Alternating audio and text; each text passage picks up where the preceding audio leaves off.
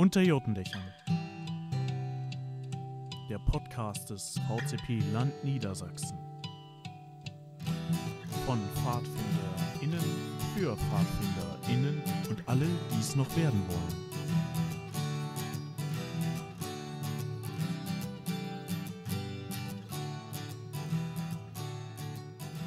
Hallo und herzlich willkommen zur dritten Folge des Podcasts mit Bjane Und Julia. In den letzten Folgen habt ihr ja schon gelernt, wo die Anfänge unserer Bewegung liegen und was wir selbst so über uns denken. Aber das ist ja alles relativ theoretisch. Heute wollen wir euch ein paar praktische Einblicke in unser eigentliches Stammesleben geben und euch erzählen, wo wir herkommen, aus welchen Stämmen, was wir da so machen, wir und auch andere im Stamm und wie das generelle Zusammenleben so ist. Also halt generell allgemein das Stammesleben, Stammesalltag und so. Ich komme aus dem Stamm äh, St. Andreas Larstedt, der ist bei Peine. Ak aktive Mitglieder haben wir, glaube ich, so um die 80 bis 90, davon natürlich größtenteils Kinder und andere Mitglieder der Gruppen.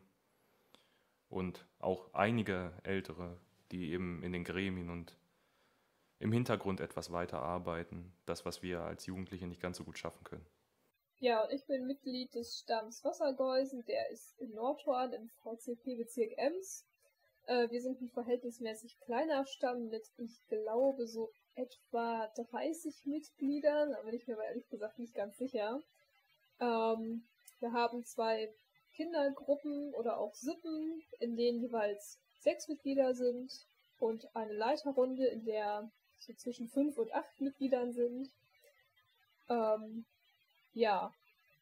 Wie ist das denn bei dir so, Biane? Wie groß seid ihr denn so etwa? Und wie viele Gruppen habt ihr? Äh, ja, wir haben ein paar mehr Gruppen, dadurch, dass wir eben auch mehr Mitglieder haben und mehr Kinder akquirieren konnten. Wir haben aktive Gruppen, meine ich fünf, in allen möglichen Altersstufen. Natürlich eine in der Kinderstufe, also ganz, ganz kleine. Dann haben wir noch eine etwas ältere und zwei relativ größere. Und die letzte mal hat jetzt aufgehört mit Gruppenstunden, da die in das Ranger Rover Alter, also in das Alter kommen, in dem sie selbst arbeiten im Stamm und Gruppen leiten und an anderen Aktionen des Stammes teilnehmen können, die so dass Gruppenstunden etwas überflüssig werden. Ah. Und bei euch, wie, wie, wie alt sind eure Kinder so? Ja, ähm, also in der Gruppe, in der die jüngeren Kinder sind, sind die so etwa 11 bis 13 Jahre alt und in der Gruppe mit den Älteren, die wir jetzt langsam auch auf DGD und Gruppenleitergrundkurs vorbereiten, die sind so 13 bis 14, die werden jetzt demnächst irgendwann 15. Und in unserer Leiterrunde haben wir von 17 bis 60 eigentlich alles. 17 bis 60 haben wir auch alles, glaube ich. Ich glaube, der älteste Aktive bei uns ist irgendwo Ende 60. Was macht ihr denn außerhalb der Gruppenstunden noch so? Also, oder, oder generell erstmal in den Gruppenstunden, was macht ihr denn da? Ich weiß nur, was wir da machen. Ähm, das ist eine gute Frage. Ähm, ich, die ich dir jetzt nicht so genau beantworten kann. Ich der mit Gruppenstundenleitung nicht mehr so viel zu tun. Ähm, aber ich habe jetzt so, wenn ich die Planung mitbekommen habe, wohl mitbekommen, halt so natürlich so das übliche Lagerfeuer, Schnitzen, Quote aufbauen, Langquote, Jurte, Knoten, ähm, Pfadfinderregeln. Warte mal, das, das waren jetzt schon sehr viele Fachbegriffe, die du gerade benutzt hast, oder? Was sind, was sind denn Jurten und so? Ha, schade, ich dachte, das, ja, wäre ein Fall für das Pfadfinder-ABC. Ja, das ist auch ein Fall fürs Pfadfinder-ABC, das haben wir ja jetzt noch nicht. Aber wir können es gerne auch für da lassen, also wir müssen es nicht jetzt beantworten. Dann würde würd ich jetzt sagen, wir machen einfach so weiter. Ja. So, aber mit der Planung für den Kindergruppenstunden habe ich so nicht mehr so viel zu tun. Ich bin eigentlich meistens nur noch äh, in der Leiterrunde anwesend. Die haben wir zweimal die Woche. Und ja, macht dann da so Dinge mit wie Pfingstlagervorbereitung oder auch andere Freizeiten vorbereiten, ähm, Friedenslicht, so, äh, so organisatorisches Zeug, eben, aber ähm, nicht mehr so direkt arbeiten mit Kindern eigentlich. Das macht ja nichts, das ist Du bist ja trotzdem aktiv. Aber zweimal die Woche Leiterrunden finde ich schon ein bisschen nicht schon ein bisschen viel, aber ich finde es erstaunlich. Wir haben einmal eine alle zwei Wochen, in der, wir in der wir auch solche Sachen machen wie Planungen besprechen und so, aber bei uns wird auch nicht geplant in der Gruppe. Das wurde mal gemacht. So inzwischen planen wir solche Sachen immer durch Planungsteams, die eben bestimmt werden und in denen dann immer Freiwillige sitzen, die das gerne machen möchten. Mm, ja, wir haben ja nur so zwischen fünf und acht Mitglieder in diesem Planungsteam. Also diese fünf bis acht setzen sich zusammen, dass es etwa fünf sind, die eigentlich jedes Mal da sind und bei den anderen dreien ist es jetzt tatsächlich abhängig vom Berufsleben, ähm, ob sie Zeit haben, zu einer Gruppenstunde zu kommen oder nicht, deswegen fünf bis acht. Und eigentlich nennen wir das auch nicht Leiterrunde, sondern einfach stumpf Gruppenstunde auch. Da ist eigentlich hm. montags nach den Kindergruppenstunden immer der Plan, dass da schon die Gruppenstunden für die nächste Woche geplant werden oder man da Sachen bespricht für die Stammesversammlung oder die Bezirksversammlung oder andere zeitnah anstehende Aktivitäten. Und freitags eigentlich dann eine Gruppenstunde sein soll, in der wir was für uns machen oder auch Aktionen planen, die jetzt vielleicht auch mal nur für die Älteren sind, ohne dass wir zwingend Kinder mitnehmen. Äh, die Trennung hat jetzt bisher noch nicht so gut geklappt, also meistens vermischt sich das und beide Treffen sind irgendwie Planungstreffen, aber weil wir halt eben auch nur so wenige sind, ähm, gibt es da jetzt nicht so die Kapazität für verschiedene Bereiche, verschiedene Planungsteams zu erstellen. Ja gut. Bei, bei uns machen wir, also wir haben auch sowas, aber zum, leider erst seit kurzem, da die Gruppenstunde unserer Gruppe, also unsere Gruppe war die Pinguine, die, wir waren schon ziemlich alt für Gruppenstunden mit äh, 17 bis 20 Jahren und dann haben wir damit aufgehört, aber haben anstelle dieser Gruppenstunde den Stammesabend etabliert, in den jetzt auch die neue Gruppe mit reingefallen ist. Also nicht die neue Gruppe, aber die Gruppe, die jetzt auch zu alt für Gruppenstunden geworden ist. Und an dem treffen wir uns dann immer, oder jetzt nicht, aber vorher, vor Corona. Und da haben wir dann immer so Spaß gehabt und im Spaß dann eben auch ein paar Sachen für, für Ältere geplant. Und ansonsten werden bei uns auch so größere Sachen. Bei uns heißt das Mitarbeiterrunde, nicht. Wie, wie ist das bei euch? Gruppenstunde? Ja, also hat sich halt irgendwie aus einer Gruppenstunde etabliert und wir haben den Namen einfach beibehalten. Bei, bei, uns, bei uns heißt es einfach kurz Miro für Mitarbeiterrunde, weil alle, die im Stamm mitarbeiten, Gruppenleiter sind irgendwie, die sind bei uns Mitarbeitende und Miro klingt witzig und deswegen haben wir das so genannt, denke ich. Und da planen wir dann auch eben Sachen wie Stammes, Stammesfahrt, Pfingst, Pfingstlager, Stammesversammlung. Stammesversammlung aber hauptsächlich durch die Stammesleitung. Und es werden eben auch Probleme angesprochen, die wir haben. Wie wenn irgendwie ein kleiner Streit in Gruppen ist, wenn man ein bisschen die Hilfe von älteren, erfahrenen und Mitgliedern des Stammes braucht. Solche Sachen. Ah, okay. Ja, das ist so in etwa auch das, was wir machen. Aber du hast jetzt gerade Stammesfahrt angesprochen, so das kenne ich gar nicht. Kannst du vielleicht irgendwie erklären, was das ist? Äh, Stammesfahrt in unserem Stamm, das ist, ähm, wenn wir Jahresanfang haben, meist so im Januar oder Februar, dann fahren wir mit dem ganzen Stamm, also auch mit den, mit den Kindergruppen und mit den etwas älteren Kindergruppen, aber auch mit den sehr alten, na, sehr alten Mitarbeitern nicht, die freuen sich nicht, wenn ich jetzt sowas hier sage, mit den erfahrenen Mitarbeitern. Ähm, irgendwo mieten wir dann ein Haus, das groß genug ist für alle und dann fahren wir für ein Wochenende, also meist Montag, äh Quatsch, Montag, meist Freitag bis Sonntag, äh, meist auch in Harz und haben da eben schöne kleine Aktionen, die geplant werden. Da gibt es immer ein Planungsteam, das das plant, das sucht sich dann Leute, die äh, Workshops planen möchten. Dann gibt es meist noch ein Großspiel, so ein, so ein Chaosspiel oder so, wo wir den Zettel im ganzen Haus verteilt hinkleben und da stehen dann auf der Vorderseite Zahlen, auf der Rückseite Sätze, die man sich merken muss und wer am Ende dann halt am schnellsten durch ist, hat gewonnen. Und am Ende gibt es dann halt immer schöne Stammes also schöne Abende auf der Stammesfahrt, wenn die Kinder im Bett sind, mit Chai, also mit Pfadfindertee und mit Gesang, mit Gitarren und das sind dann halt immer zwei schöne Tage, zwei schöne Abende und Sonntag geht es dann immer zurück. Warum kennst du denn sowas nicht? Macht ihr keine Stammesfahrten oder habt ihr andere Fahrten? Ähm, nee, also ich habe jetzt gerade das erste Mal von einer Stammesfahrt gehört. Wir machen halt natürlich Pfingstlager mit unserem Stamm. Ja, das kenne ich auch. Ähm, und das ist, glaube ich, auch so die erste Aktion im Jahr, wo wir dann auch so richtig zelten. Wenn ich mich jetzt nicht irre. Das Pfingstlager ist bei euch die erste Aktion zum Zelten? Ja. Das ist aber ziemlich spät dann schon, oder? Ja, das, das dachte ich mir gerade auch, deswegen bin ich mir gerade auch überhaupt nicht mehr sicher, ob das stimmt. Ja, bei uns gibt es dafür nämlich immer extra ein An- und ein Abzelten. Nee, das haben wir noch nie gemacht. So, ähm, also es kann sein, dass sich das jetzt möglicherweise bei uns auch irgendwie mal ändert. So, wir haben das, eigentlich ist das jedes Jahr wieder ein Thema, ob wir nicht An- und Abzelten machen wollen. Und dann finden wir aber irgendwie nie einen Termin, der für uns alle passt. äh, und dann ist es irgendwie auch oft schon zu spät, um den Kindern noch Bescheid zu sagen. Und dann kommt das irgendwie auch nicht so richtig zustande. Wir haben aber dafür ganz oft auch so Tagesaktionen, die wir machen. Ähm, Welche Altersstufe sind denn die? ja, die, die kleinere Gruppe, also die mit den Jüngeren von 11 bis 13 und die andere von 13 bis 14, 15 etwa.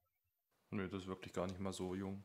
Wollt ihr, macht ihr demnächst eine neue Gruppe auf oder habt ihr nicht die Kapazitäten zu? Da haben wir nicht so die Kapazitäten für. Also wir haben äh, zwei Leute, die so richtig dauerhaft immer Gruppenstunden machen können.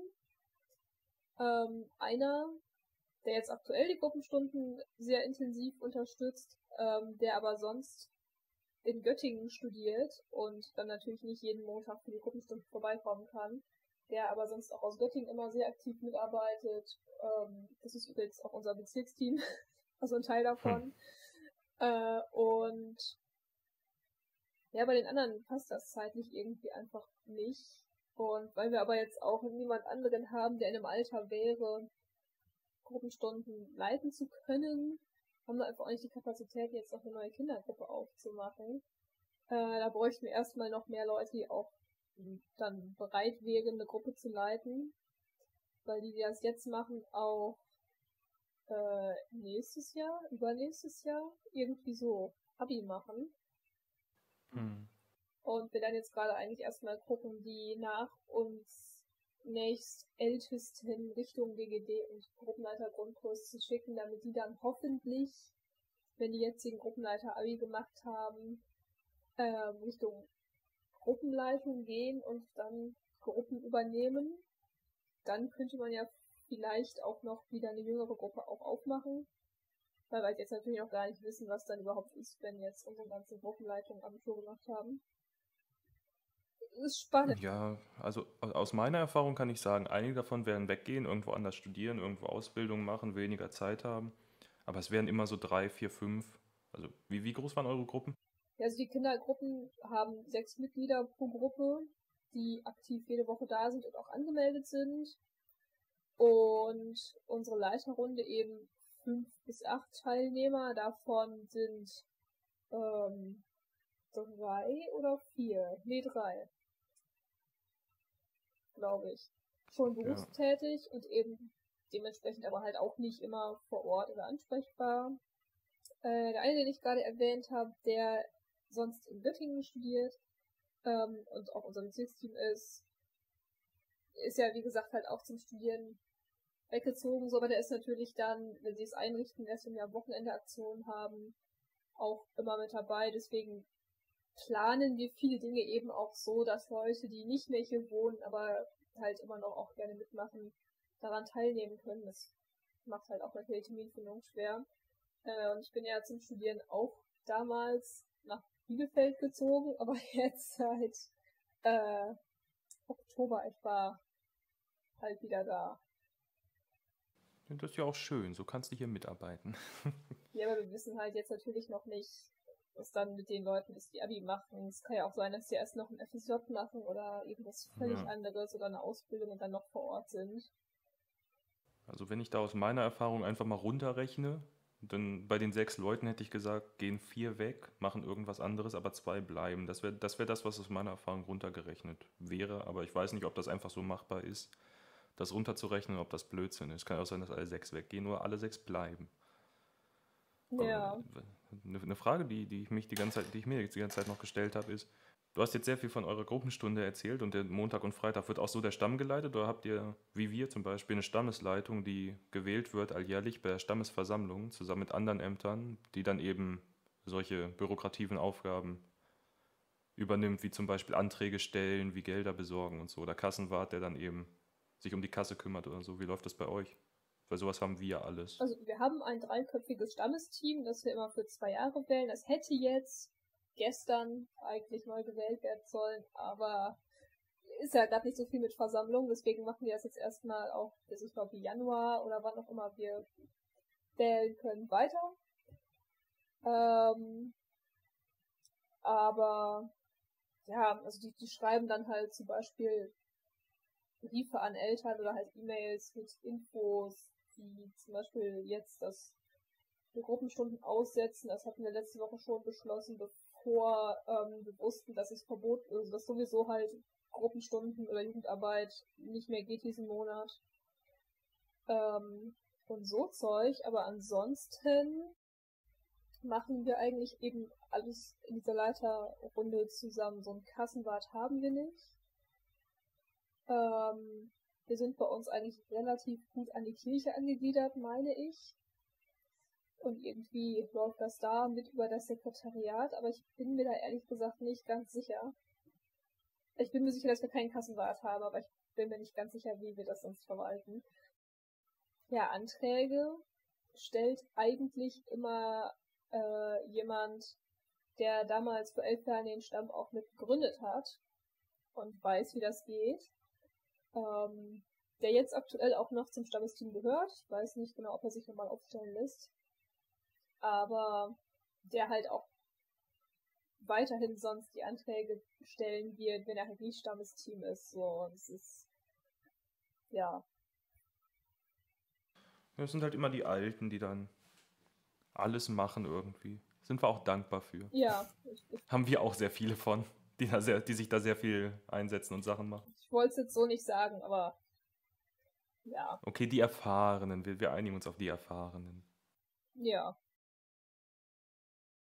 Wart ihr beim letzten Friedenslicht dabei? Letztes Jahr?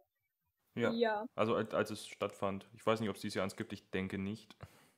Ähm, Beziehungsweise nicht in den Ausmaßen. wir machen das immer mit den katholischen Pfadfindern, dem DPSG, hier in Nordhorn zusammen und machen da halt ja, eine gemischte Veranstaltung raus. Ähm, das machen wir auch eigentlich jedes Jahr. Ähm, und bereiten das immer dann auch mit denen vor. Äh, dieses Jahr haben wir mit der Vorbereitung schon angefangen. Da war vor zwei Wochen, glaube ich, das erste Treffen über Zoom oder sowas ähnliches, also halt über eine Videoplattform. Ähm, da wäre jetzt morgen auch das nächste Vorbereitungstreffen.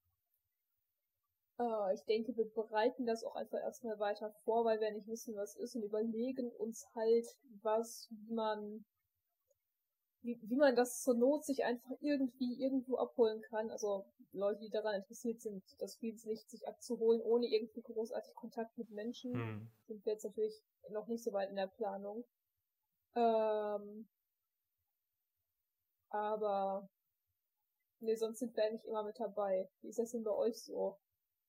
Ja, wir waren letztes Jahr auch mit dabei. Wir haben das auch abgeholt aus Braunschweig. ne, Ja, aus Braunschweig. Aus einer Kirche da. Ich weiß nicht genau, welche Kirche das war. Die am Bahnhof, am Hauptbahnhof in der Nähe. Und das war ein schöner Gottesdienst. Der wurde auch mit organisiert von äh, VCP-Pfadfindern aus ähm, Bezirk Braunschweig, beziehungsweise Bezirk Elm aus Braunschweig. Äh, der Gottesdienst war nicht allzu lang, aber dafür ziemlich schön. Das war so an Weihnachten. Danach gab es das Friedenslicht. Und dann haben wir es ausgetragen in, in die ganzen Gemeinden und die ganzen Kirchen zu sehr vielen Gottesdiensten, bei denen wir eben dann mit eingeladen waren. Wir durften teilweise sogar mit einziehen, hat der Pastor uns erlaubt. Und haben das am Ende dann eben an die Gemeinde ausgeteilt mit entsprechenden Kerzen. Ach so, Das ist, immer sehr, das ist ja sehr schön immer jedes Jahr, bitte. also ja, das ist, ich hätte gerade gar nicht drüber nachgedacht, dass Friedenslicht auch so unterschiedlich sein kann. Wir haben halt immer ähm, mit den Katholiken zusammen einen festen Termin, wo wir extra auch so einen Aussendungsgottesdienst selbst vorbereiten und den machen. Ähm, und verteilen das dann aber auch immer nochmal an Weihnachten, mindestens in den beiden Krippenspiel-Gottesdiensten, manchmal auch noch in den anderen Gottesdiensten. Ähm, und haben das dann auch immer, dass wir da dann mit ein paar Leuten einziehen, kurz was zum Friedenslicht erzählen, wo das herkommt und so. Ähm, und dann am Ende, bevor alle gehen, das halt an die Gemeinde auch verteilen, wenn so die letzten Lieder gesungen werden. Das klingt aber auch schön. Ja. Also, also ich glaube, ich kann mir vorstellen, dass das nur geht, wenn man eine relativ kleine Gemeinde hat oder eine relativ große Kirche. Eins von beiden, aber auf jeden Fall. Hm.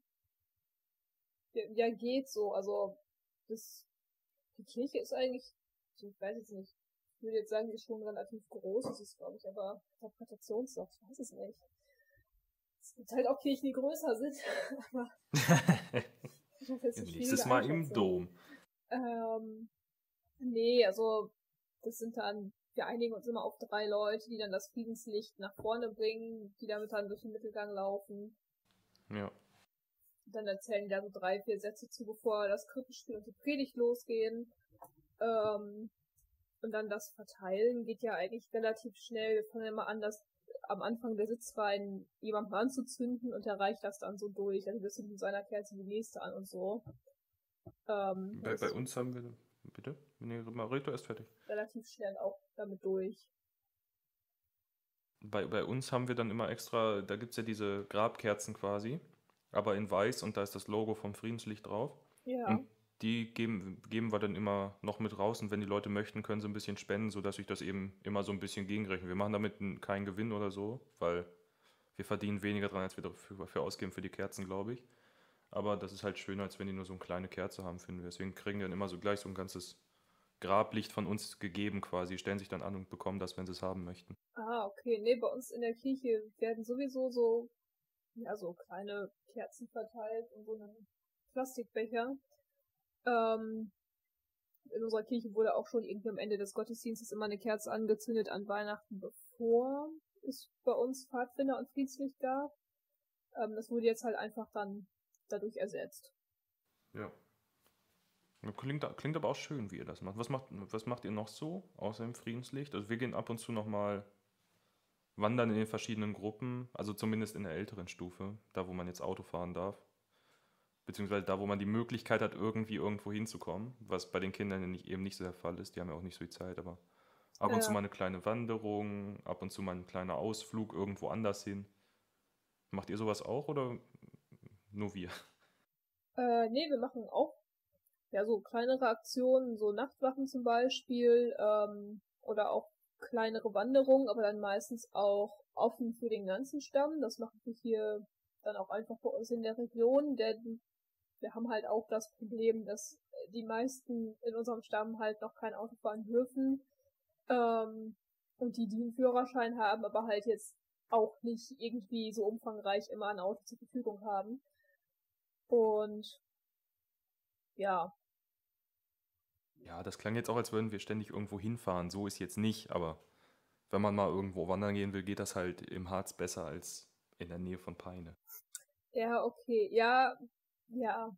Also, so richtig hügelig ist die Landschaft bei uns jetzt auch nicht. Aber so, weiß ich nicht, auch so für Kinder, die jetzt vielleicht noch nicht so viel gewandert sind oder bei sowas noch nie mitgemacht haben, einfach mal irgendwie so einen Tag ein bisschen durch den Wald ein paar Kilometer, dann einfach mittags auf dem Spanja was kochen oder so, ist schön. Glaube ich dann oft auch schon Unterhaltung genug für die. Dann machen ja. wir manchmal im Anschluss daran noch einen Gürtenabend oder so, also treffen uns dann ähm, bei uns am Gemeindehaus, wo wir immer sind und entweder haben dann schon welche, also Leute, die nicht mitgelaufen sind, die Leute aufgebaut und was vorbereitet mit Feuer und Essen oder das macht man dann, wenn man da ankommt. Und dann lässt man entweder den Abend noch so ein bisschen ausklingen. Manchmal übernachten wir da dann auch. Das ist tatsächlich immer sehr unterschiedlich. Ähm, ja. Das ist doch schön. Ja, ja, tatsächlich. Es klingt jetzt so, als wäre ich davon überrascht. Ich bin davon nicht überrascht. Oh Gott. Okay, gut. Dann soll das für heute erstmal genug sein. Ihr seht, es gibt sehr viel zu sagen zum Zusammenleben als und im Stamm. Das stimmt. Ähm, wir könnten noch ewig so weiter quatschen. Aber unsere Zeit hier ist begrenzt. Wir haben nur die halbe Stunde, beziehungsweise die 20 Minuten. Und vielleicht gibt es ja irgendwann noch mal eine weitere Folge über dieses Thema, man weiß es nicht. Aber für heute soll es erstmal genügen. Wenn ihr Fragen an uns habt oder Themenwünsche, dann könnt ihr euch gerne über Instagram äh, bei unter Gürtendächern an uns wenden oder auch per E-Mail oder über die Homepage. Ähm, wir würden uns natürlich auch sehr freuen, wenn ihr den Podcast Freunden, Verwandten, Fremden, wem auch immer empfehlen würdet. Äh, finden könnt ihr den Podcast überall, wo es Podcasts gibt und auf YouTube. Von uns okay. war es das an dieser Stelle erstmal. Wir hoffen, die Folge hat euch gefallen. Ähm, und wir hoffen natürlich, dass ihr äh, zu unserer nächsten Folge am 23.11. wieder einschaltet. Bis dahin, äh, bleibt gesund und gut.